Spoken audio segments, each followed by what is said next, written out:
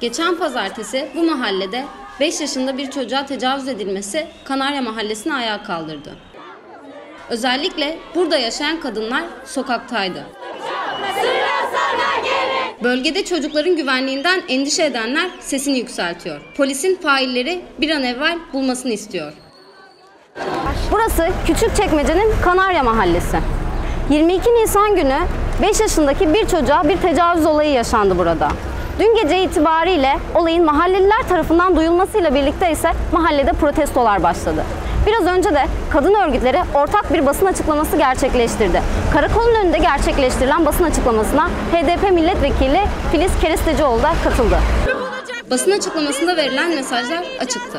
Yan yana olacağız. Kadın iradesiyle hem annenin hem bu çocuğun hem de babanın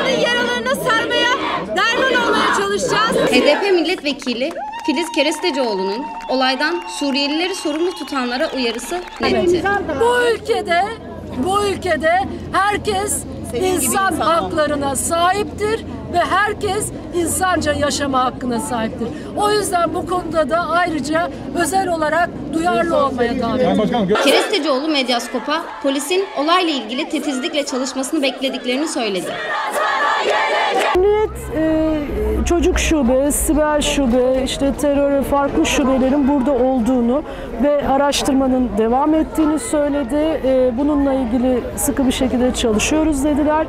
E, onlara da güvenmek istiyoruz. Yani gerçekten e, bu çalışmayı yürütsünler. Protesto gösterisine Kanarya Mahallesi sakinleri ve kadın örgütlerinin yanı sıra diğer mahallelerden gelenler de katıldı. Eğer emniyet, e, devlet bu konuda biraz daha duyarlı olmuş olsaydı bugün bu çocuklarımız böyle olmazdı. Lütfen çocukları, kadınları korusunlar.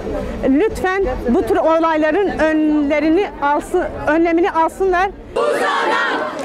Büşra Cebeci, Medyaskop, İstanbul.